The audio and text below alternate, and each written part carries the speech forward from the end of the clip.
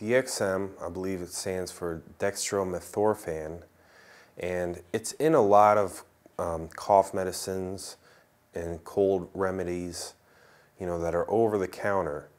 So this is something that's easily accessible. You know, you can walk into a grocery store and leave with a bottle of, say, Robitussin or, you know, whatever, Theraflu, you know, it don't matter. That stuff isn't all that for me, it, it was insane, you know. Um, I went into grocery stores and, you know, I got all the stuff that was over the counter, you know. I even stole, you know. And uh, it was kind of pathetic, you know. Um, I like to think of my addiction as something that was like bad or, you know, like I was a badass, but really it was pretty pathetic now that I look back at it.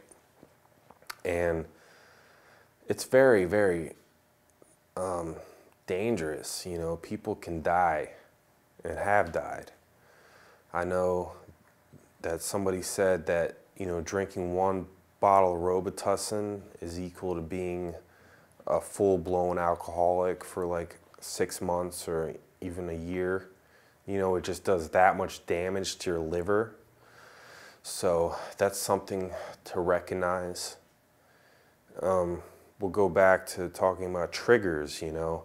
I think that, you know, just being in a grocery store for someone that's got a problem with DXM or, you know, Robitussin or, you know, the other over, over the counters, I think should avoid those places I know for me, I couldn't even go down those aisles.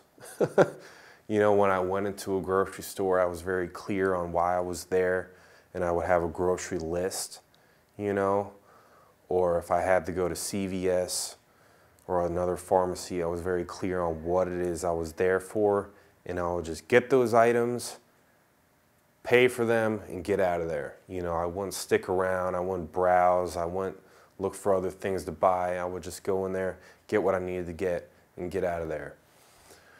So, you know, just keep in mind that and don't forget, you know, you're damaging your body quite a bit.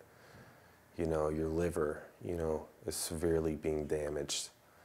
And uh, I know for me, like, I didn't even really enjoy my DXM trips, you know, as much as I thought I would before I started them. You know, it was never ever that enjoyable or pleasant, you know.